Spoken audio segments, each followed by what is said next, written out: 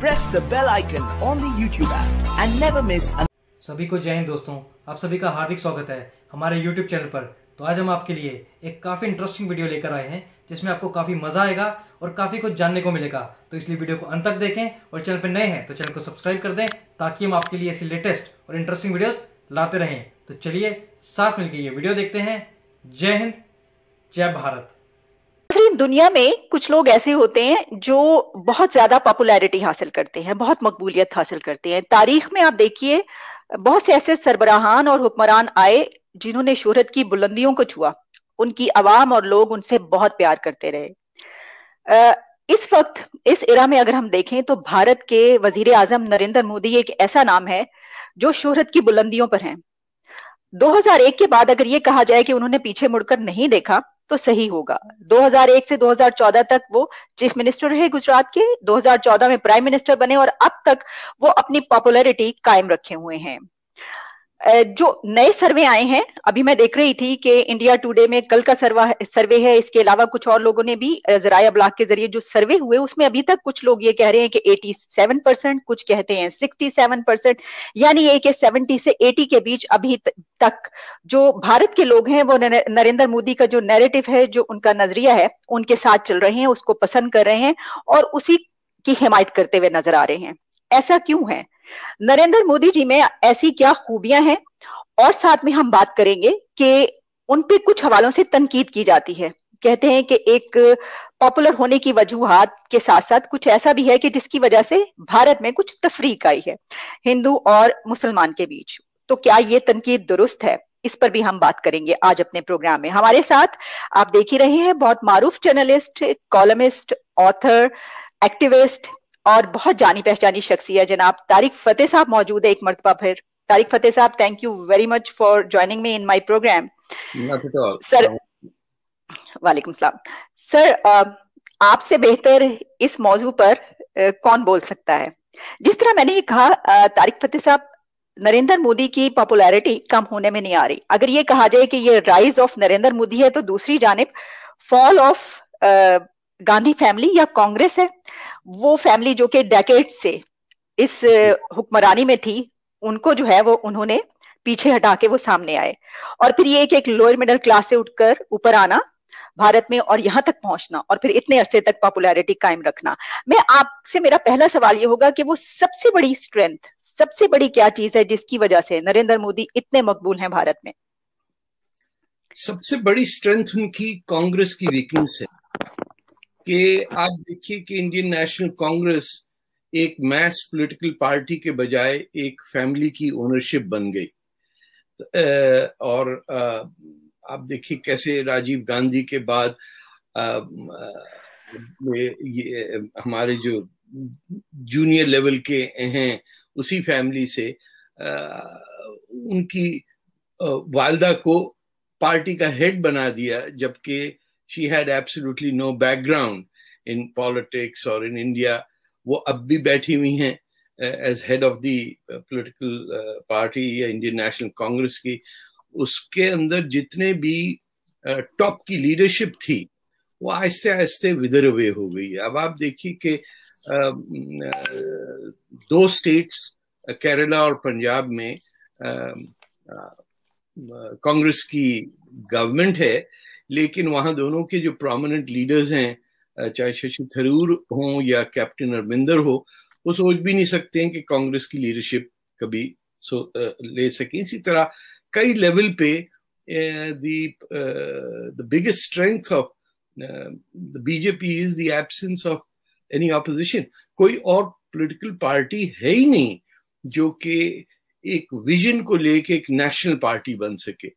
अब ये तो नहीं हो सकता है कि नेहरू जी की इबादत के अंदर जो लोग हैं, वो एक सियासी मूवमेंट हो।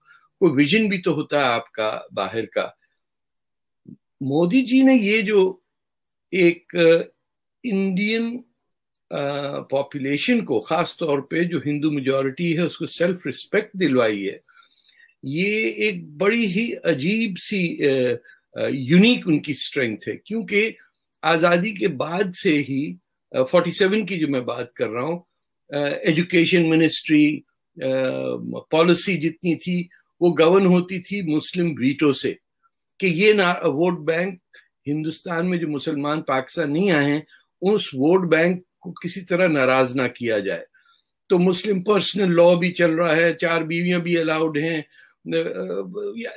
They had a parallel government इन्होंने जो ले जाके ट्रिपल ट्रिपल तलाक और इस टाइप का ये असर्ट किया हिंदुस्तान की जो तारीख है पिछले पाँच हज़ार साल से कम से कम लेके, आप देखिए टैक्शिला मुंजदारों से लेके नीचे तामिल और फिर वो वो रिस्टोर की है प्राइड इन देयर पास्ट और उसमें लोगों को भारतीय होने की एक यकजहती महसूस हुई कि ट्वेंटी नाइन स्टेट्स हैं लेकिन हमारी जो हेरिटेज है, हमें शर्मिंदा होने की ज़रूरत नहीं है।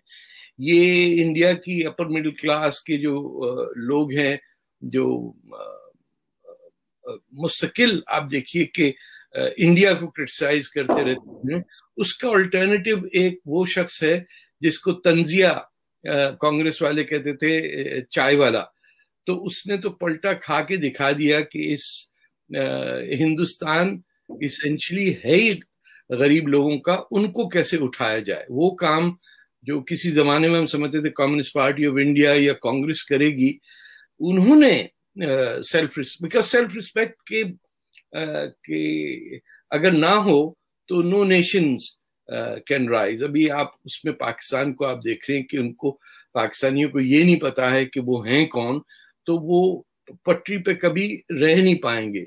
बांग्लादेश को देखिए दोनों दे नो एग्जैक्टली कि वो बंगाल, बंगाली स्पीकिंग है, वो मुसलमान हैं और वो अपनी जबान और टैगोर से प्यार करते हैं, उनके नेशनल एंथम में है। उनको शर्मिंदगी नहीं है अपनी बंगाली होने की। आप देखिए वो दस परसेंट ग्रोथ पे चल रहे इसी तरह इंडिया में एक सेंस ऑफ़ रिजुविनेशन है, जैसे मैं कहूँ, मैं मैं almost every year I have visited the last ten जब सलमान खुर्शीद फॉरेन मिनिस्टर थे कांग्रेस की गवर्नमेंट थी, तब भी मैं वहाँ गया था।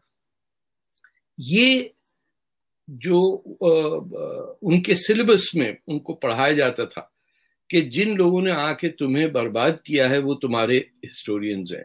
कि जिस मुल्क में एक कबर नहीं होती थी, क्योंकि Hindus don't bury the dead वहाँ ताजमहल एक कब्र, एक कबर को नेशनल सिंबल बनवा दिया गया। तो बनाया तो वही हिंदुओं नहीं है, मजदूर भी वही थे मटेरियल भी वही था, लेकिन एजुकेशन मिनिस्टर्स ने इस तरह किया कि अब दिल्ली का मैं एग्जांपल देता हूँ। सबसे मेन सड़क का नाम था Aurangzeb road.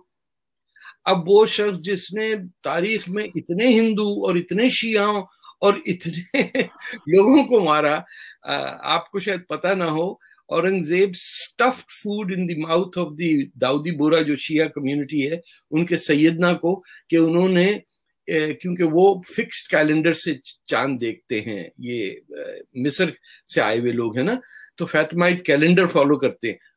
He stuff food in his mouth to kill him मंदिरों को गिराया है, अब एक सड़क लोधी एक एरिया लोधी गार्डन है। अब वो शख्स जिसने इन्वेड किया, बर्बाद किया हिंदुस्तान को, उसके नाम पे दिल्ली का सबसे पॉश एरिया नज़र आ रहा है। तो एक मीकनेस आ गई थी इंडियन हिंदू पॉपुलेशन में अपनी इंफीरियोरिटी की। ये मैं समझता हूँ कि अगर हमने कुछ किया तो हमारी पिटाई हो जाएगी, क्योंकि मौलाना आज़ाद से लेके बाद तक प्रेसिडेंट्स और ये सब जो थे there there has been a fairly Muslim presence in at the leadership Modi ji के आने के बाद किसी हिंदू को ये शर्मिंदगी नहीं है कि उसने को गलती की, तब उसके ऊपर एक हज़ार साल तक मुसलमानों ने और बाद में 200 साल अंग्रेज़ ने हुकूमत की, जो पहले एक था उनका। अब भी उनमें वो मिलिटेंसी नहीं है, जो पाकिस्तान में हम बैठ के सोचते हैं कि अरे, वहाँ हिंदू एक्सट्रीमिज्म है और ये वो। किसी हिंदू एक्सट्रीमिस्ट से मिले तो जमात इस्लामी वाले और ये जो बाकी हमारे रेडिकल्स हैं आप हैरान हो जाएँगे कि there is a difference over there और most Hindus and Muslim find it normal to live together. लेकिन uh, ये जो था कि मीकनेस uh, ही मैं कहूँगा उसको उन्होंने